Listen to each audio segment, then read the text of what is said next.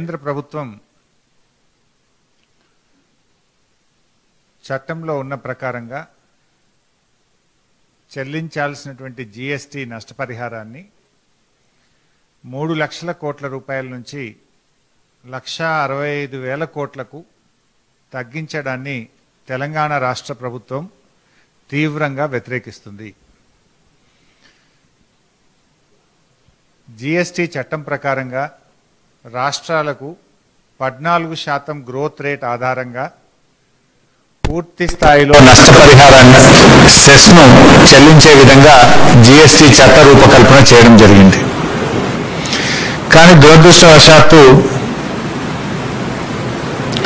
కేంద్ర ప్రభుత్వం act of God పేరిట కరోనా పేరిట ఈరోజు లక్షా ముప్పై ఐదు వేల కోట్ల నష్టపరిహారాన్ని రాష్ట్రాలకు ఇవ్వకుండా ఎగ్గొట్టాలని చూస్తూ ఉంది.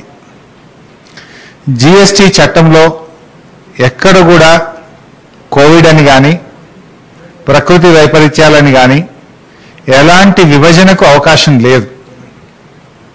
చట్టంలో పద్నాలుగు శాతం గ్రోత్ రేట్ ఆధారంగా రాష్ట్రాలకు ఆదాయం తగ్గినట్టయితే దానిని కేంద్ర ప్రభుత్వమే చెల్లిస్తుందని చాలా స్పష్టంగా ఆ రోజు చట్టంలో చెప్పడం జరిగింది.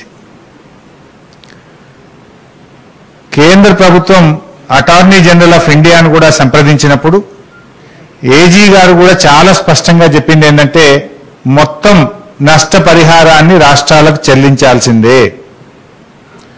ఎవరు చెల్లిస్తారు ఎట్లా చెల్లిస్తారనే విషయంలో డిఫరెన్స్ ఆఫ్ ఒపీనియన్ ఉండొచ్చు కానీ అటార్నీ జనరల్ గారు కూడా చాలా స్పష్టంగా మొత్తం నష్టపరిహారాన్ని రాష్ట్రాలకు చెల్లించాలని చెప్పారు. కోవిడ్ అని కానీ జీఎస్టీ వల్ల వచ్చే నష్టమని కానీ విడగొట్టాలని ఎక్కడ అటార్నీ జనరల్ గారు చెప్పలేదు. అంటే ఈరోజు లీగల్గా చూసినా మోరల్గా చూసినా కేంద్ర ప్రభుత్వం పూర్తి స్థాయిలో రాష్ట్రాలకు కంపెన్సేషన్ చెల్లించాల్సిందే. Centre has no option. They have to pay the full compensation ఇంకో రకంగా చూస్తే జిఎస్టీ అమల్లోకి వచ్చి ఇప్పుడు మూడు సంవత్సరాలు అయింది గత మూడు సంవత్సరాల్లో జిఎస్టీ సెస్ డబ్బులు మిగిలినప్పుడు కానీ ఐజిఎస్టీ డబ్బులను కన్సాలిడేటెడ్ ఫండ్ ఆఫ్ ఇండియాలో జమ చేసుకున్నారు. అంటే కేంద్ర ప్రభుత్వ నిధుల్లో జమ చేసుకున్నారు. అంటే మిగిలినప్పుడేమో డబ్బులను కేంద్ర ప్రభుత్వ నిధుల్లో జమ చేసుకుంటారట.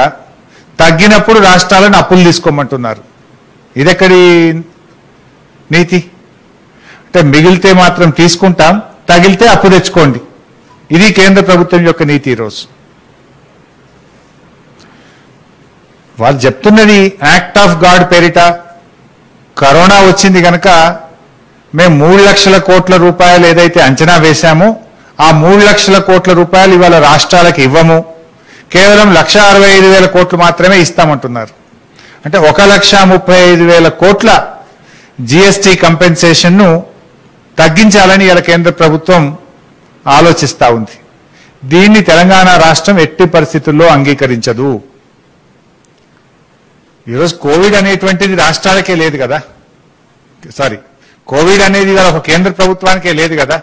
రాష్ట్రాలకు కూడా దాని ఎఫెక్ట్ ఉంది. రాష్ట్ర ప్రభుత్వాలు కూడా తీవ్రంగా నష్టపోయినాయి. ఇలా కోవిడ్ వల్ల కేంద్రం తగ్గింది కనుక మేము సెస్ తగ్గిస్తామనే ధోరణి ఏదైతే ఉందో నిజానికి ఇవాళ రాష్ట్రాలు కూడా చాలా తీవ్రంగా ఎఫెక్ట్ అయినాయి. తెలంగాణ రాష్ట్రం తీసుకుంటే గత నాలుగు నెలల్లో ముప్పై నాలుగు శాతం ఆదాయాన్ని ఇలా కోల్పోయింది. అంటే దాదాపు ఎనిమిది వేల కోట్ల రూపాయలు తెలంగాణ ప్రభుత్వం గత నాలుగు నెలల్లో కోవిడ్ వల్ల ఆదాయాన్ని కోల్పోయింది. ఇలాంటి విపత్కరమైనటువంటి పరిస్థితుల్లో కేంద్ర ప్రభుత్వం పెద్దన్న పాత్ర పోషించాలి. కేంద్ర ప్రభుత్వం రాష్ట్రాలకు ఇవ్వవలసినటువంటి సెస్ కానీ రాష్ట్రాలకు ఇవ్వాల్సినటువంటి నిధులను విరివిగా ఇవ్వడం ద్వారా రాష్ట్రాలను ఆదుకోవాల్సినటువంటి సందర్భం. కానీ దురదృష్టవశాత్తు కేంద్రం ఈరోజు రాష్ట్రాలకు ఇవ్వవలసినటువంటి హక్కుగా రావాల్సినటువంటి సెస్ను ఎగ్గొట్టాలని చూస్తా ఉంది. ఆ రోజు జీఎస్టీలో చేరేటప్పుడే తెలంగాణ రాష్ట్రం చాలా వెనుక ముందైంది. జిఎస్టీలో చేరితే తెలంగాణ బాగా నష్టపోతుంది.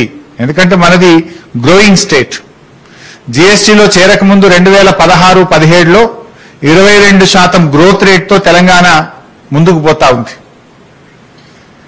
ఒకవేళ జిఎస్టీలో చేరుండకపోయి ఉంటే ఇవాళ ఇరవై ఐదు వేల కోట్ల రూపాయలు ఈ రాష్ట్రానికి అదనంగా వచ్చేది. కానీ ఆ రోజు దేశ ప్రయోజనాల కోసం పన్నుల సరళీకరణ కోసం పెట్టుబడులను ఆకర్షించడం కోసం విస్తృత ప్రయోజనాలను ఆశించి ఆ రోజు తెలంగాణ రాష్ట్రం జీఎస్టీలో చేరడం జరిగింది.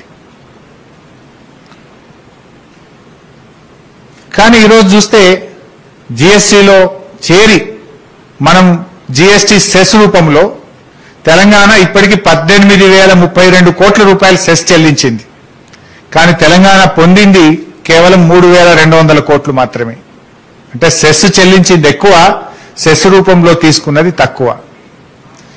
ఈ కోవిడ్ వల్ల ఈరోజు కొంత సమస్య వచ్చి రాష్ట్రానికి ఏదైనా కొంత సెస్ రూపంలో వచ్చే సమయంలో ఈరోజు కేంద్ర ప్రభుత్వం చేతులు ఎత్తేసే ప్రయత్నం చేస్తూ ఉంది.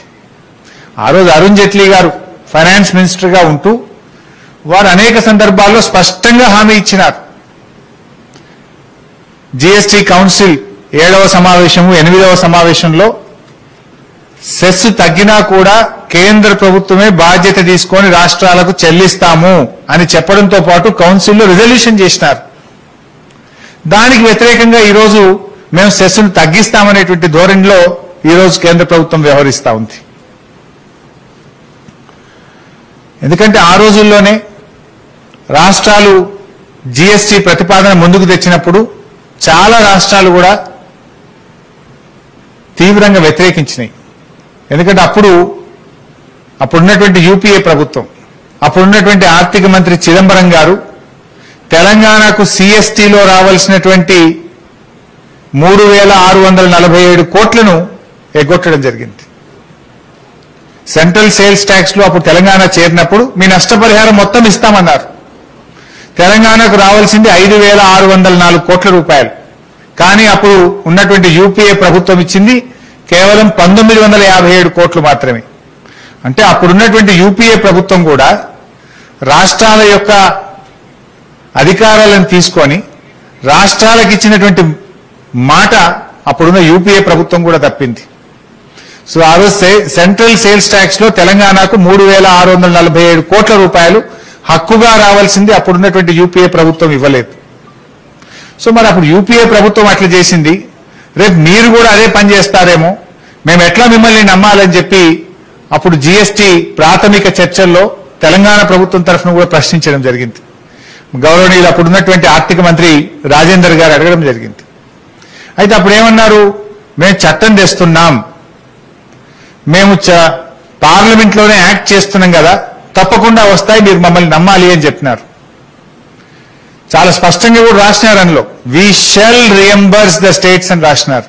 అంటే ఒక హక్కుగా రాష్ట్రాలకు తప్పకుండా ఇస్తామని చెప్పి ఆ రోజు చట్టంలో పెట్టి ఇవాళ చట్ట ఉల్లంఘనకు పాల్పడుతున్నారు మీరు. అంటే ఆ రోజుల్లోనే గత అనుభవాలు చాలా బ్యాడ్గా ఉన్నాయి. అంటే ఇవాళ మనకి ఏమర్థమైతుంది యూపీఏ అయినా ఎన్డీఏ అయినా రెండు ప్రభుత్వాలు కూడా రాష్ట్రాల యొక్క హక్కులను కాలరాస్తున్నాయి. రెండు ప్రభుత్వాలు కూడా రాష్ట్ర ప్రయోజనాలను దెబ్బతీస్తా ఉన్నాయి. రాష్ట్రాల యొక్క అధికారాలను ఒకటొక్కటిగా తీసుకుంటూ రాష్ట్రాలకు హక్కుగా రావాల్సినటువంటి డబ్బులు కూడా ఇవ్వడం లేదు. ఈరోజు గౌరవ ముఖ్యమంత్రి గారు దేశం యొక్క విస్తృత ప్రయోజనాల కోసం తెలంగాణకు జీఎస్టీలో చేరడం వల్ల నష్టం జరుగుతుంది కొంత అని తెలిసినా కూడా రాష్ట్ర భవిష్యత్తు పెట్టుబడులను ఆకర్షించాలి దేశం యొక్క విస్తృత ప్రయోజనాల కోసం ఆ రోజు చేరితే ఈ రోజు ఇచ్చిన మాట అమలు చేయకుండా కేంద్రం చేతులు ఎత్తేస్తా ఉంది. ఇలాంటి విపత్కరమైనటువంటి పరిస్థితుల్లో కేంద్ర ప్రభుత్వం ప్రత్యామ్నాయ మార్గాలు వెతకాలి. కేంద్రం అప్పుగా తీసుకొని తన మాట నిలబెట్టుకోవాలి. కేంద్రం తన ఔన్నత్యాన్ని కాపాడుకోవాలి.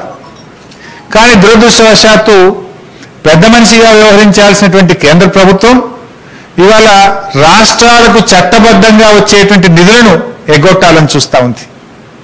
దీన్ని ఎట్టి పరిస్థితిలో కూడా తెలంగాణ ప్రభుత్వం అంగీకరించదు. Hi this is Trisha Radhika Apte నేను ఆలి మాట్లాడుతున్నాను. You watching E three media network E three media network E three media network E three media network E three means entertainment entertainment entertainment